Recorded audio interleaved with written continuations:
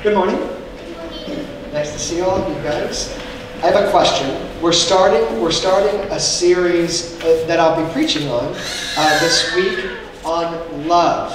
Okay, on love. Um, but I need some help before I start.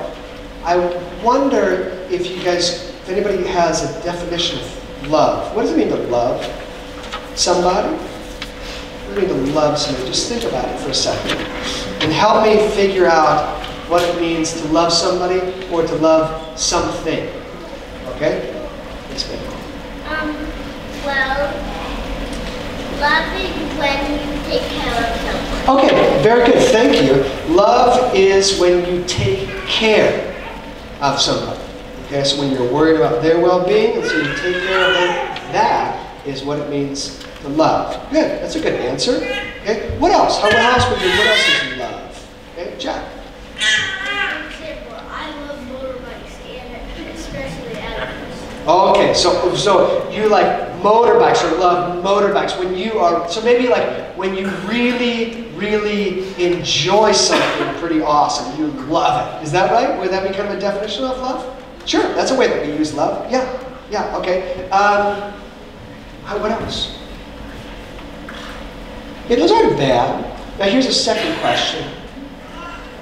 What are some things or people who you love? Oh, you got to hand up right away. There must be something you really love. Yeah. My sister. Your sister. Whoa. That must make her feel pretty great to hear that, right? That's good. Yeah. Adam. Family. Okay, your family. That's a, that's somebody that you. That's a group of people that you love, that you care for, and probably that you enjoy quite a bit too, right? Yeah. All right. Anybody else? Any any people or any things that you love? Because you can. I think that that love can work for both of those. Yes, ma'am.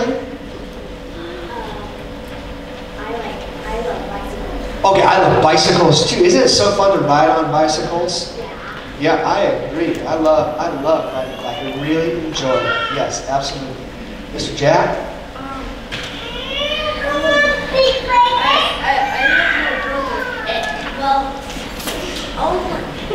Yeah, oh, easy, easy. Sometimes I just excluded that. Oh, okay, okay. So you don't love it when you fight, but you do love your brother.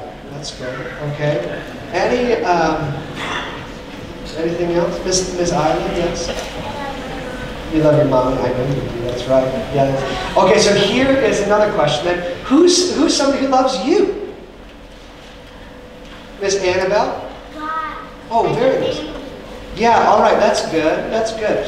Yeah, that God loves you and your family loves you. Yep, that's right. Your babysitter? Your babysitters, they take care of you for sure. Miss Madden, mom and dad. Yes, Miss Octavia. Uh, don't you please put a long time ago see what uh, Yucky Charms and chocolate milk? Oh, chocolate back. Yeah. yeah. Okay. Uh, what would your last two? Okay, Miss Island and Jack.